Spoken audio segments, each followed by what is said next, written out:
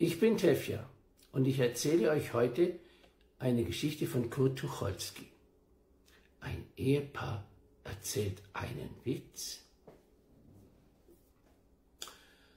Herr Panther, wir haben gestern einen so reizenden Witz gehört. Den müssen wir Ihnen, also den muss ich Ihnen erzählen. Mein Mann kannte ihn schon, aber er ist zu reizend. Also passen Sie auf. Ein Mann. Walter, Streu nicht den Tabak auf den Teppich. Da. Du streust ja den ganzen Tabak auf den Teppich. Also, ein Mann, nein, ein Wanderer, verirrt sich im Gebirge. Also der geht im Gebirge und verirrt sich in den Alpen. Hä? Was? Was? In den Dolomiten? Also nicht in den Alpen. Ist ja ganz egal. Aber er geht ja durch die Nacht und da sieht er ein Licht und er geht gerade auf das Licht zu. Lass mich doch erzählen, das gehört dazu. Er geht drauf zu und da ist eine Hütte. Da wohnen zwei Bauersleute drin. Ein Bauer und eine Bauersfrau. Der Bauer ist alt und sie ist jung und hübsch. Ja, sie ist jung. Die liegen schon im Bett. Nein, die liegen noch nicht im Bett. Meine Frau kann keine Witze erzählen. Lass mich mal. Du kannst nachher sagen, ob's richtig war. Also nun werde ich Ihnen das mal erzählen. Also, ein Mann wandert durch die Dolomiten und verirrt sich. Da kommt er Du machst einen ganz verwirrt, so ist der Witz gar nicht. Der Witz ist ganz anders. In den Dolomiten, so ist das, in den Dolomiten wohnt ein alter Bauer mit seiner jungen Frau und die haben gar nichts mehr zu essen. Bis zum nächsten Markttag haben sie bloß noch eine Konservenbüchse mit Rindfleisch und sie sparen sie sich auf. Und da kommt, wieso? Das ist ganz richtig, sei mal still.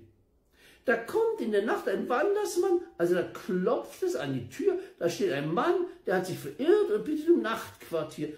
Nun haben die aber gar kein Quartier. Das heißt, sie haben nur ein Bett, da schlafen sie zu zweit drin. Ah! Wie? Trude, das ist doch Unsinn.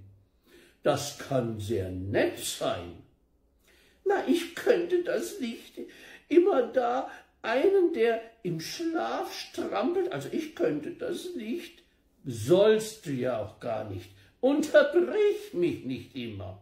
Du sagst doch, das wäre nett. Ich finde das nicht nett. Also, Walter, Walter, die Asche. Kannst du denn nicht den Aschenbecher nehmen? Also, der Wanderer steht nun in der Hütte. Er trieft vor Regen und er möchte doch da schlafen. Und da sagt ihm der Bauer, er kann ja in dem Bett schlafen mit der Frau. Nein, so war das nicht, weil du erzählst es ganz falsch. Dazwischen, zwischen ihm und der Frau, also der Wanderer in der Mitte. Meinetwegen in der Mitte, das ist doch ganz egal. Das ist nicht egal, der ganze Witz beruht ja darauf. Der Witz beruht doch nicht darauf, wo der Mann schläft. Natürlich beruht er darauf. Wo soll denn Herr Panther den Witz verstehen? Lass mich mal, ich werde ihn mal erzählen. Also der Mann schläft, verstehen Sie, zwischen dem alten Bauer und seiner Frau. Und draußen gewittert es. Lass mich doch mal. Sie erzählt ihn ganz falsch. Es gewittert erst gar nicht, sondern die schlafen friedlich ein. Plötzlich wacht der Bauer auf und sagt zu seiner Frau, Trude, geh mal ans Telefon, es klingelt. Nein, also das sagt er natürlich nicht. Der Bauer sagt zu seiner Frau, Hä, wer ist da? Wer ist am Telefon? Also, sag ihm, er soll später nochmal anrufen, jetzt haben wir keine Zeit. Ja, nein, ja, häng ab, häng ab. Häng doch endlich ab! Hat er Ihnen den Witz schon zu Ende erzählt? Nein, noch nicht. Na, erzähl doch. Da sagt der Bauer, ich muss mal raus nach den Ziegen sehen. Mir ist so, als hätten sie sich losgemacht. Und dann haben wir morgen keine Milch. Ich will mal sehen, ob die Stalltür auch gut zugeschlossen ist. Walter, entschuldige, wenn ich unterbreche. Aber Paul sagt, nachher kann er nicht anrufen. Er ruft erst abends an. Gut, abends. Also, der Bauer. Nehmen Sie doch noch ein bisschen Kaffee? Also der Bauer geht raus und kaum ist er rausgegangen, da stupst die junge Frau ganz falsch, total falsch.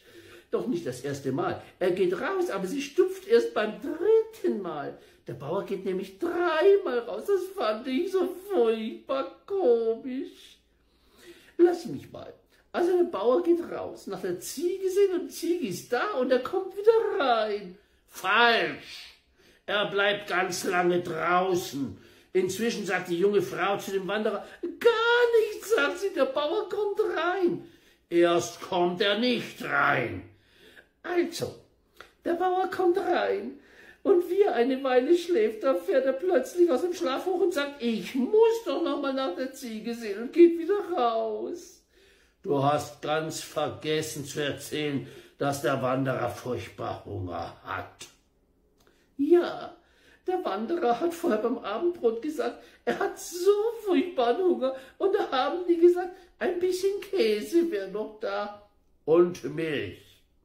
Ja, und Milch. Und es wäre auch noch etwas Fleischkonserve da, aber die könnten sie ihm nicht geben, weil die eben bis zum nächsten Markttag reichen muss. Und dann sind sie zu Bett gegangen. Ja, und nun wie nun der Bauer draußen ist, da stupst sie den, also da stupst die Frau den Wanderer in die Seite und sagt, na, keine Spur, aber keine Spur. Walter, das ist doch falsch. Sie sagt doch nicht na. Natürlich sagt sie na. Was soll sie denn sagen? Sie sagt, jetzt wäre so eine Gelegenheit. Sie sagt im Gegenteil, na, und stupst den Wanderer in die Seite. Du verdirbst aber wirklich auch jeden Witz, Walter. Das ist großartig. Ich verderbe jeden Witz. Du verdirbst jeden Witz. Ich verderbe doch nicht jeden Witz. Da sagt die Frau, jetzt lass mich mal den Witz erzählen. Du verkorkst ja die Pointe.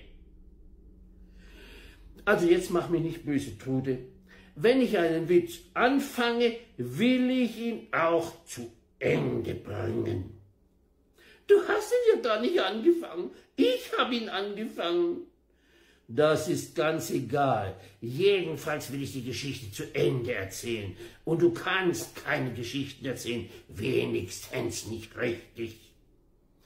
Und ich erzähle meine Geschichten eben nach meiner Art und nicht nach deiner. Und wenn es dir nicht passt, dann musst du eben nicht zuhören.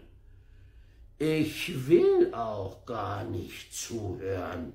Ich will sie zu Ende erzählen. Und zwar so, dass der Panther einen Genuss von der Geschichte hat.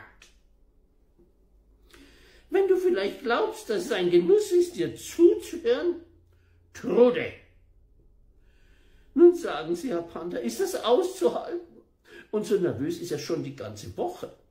Ich habe, du bist deine Unbeherrschtheit. Gleich wird sie sagen, Komplexe. Deine Mutter nennt es einfach schlechte Erziehung. Meine Kinderstube? Wer hat denn die Sache beim Anwalt rückgängig gemacht? Wer denn? Ich vielleicht? Du. Du hast gebeten, dass die Scheidung nicht. Lüge! Bumm, Türgeknall rechts, bumm, Türgeknall links.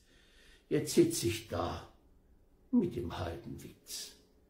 Was hat der Mann zu der jungen Bauersfrau gesagt? Das war die Geschichte von Kurt Tucholsky. Liebe Grüße, Devja.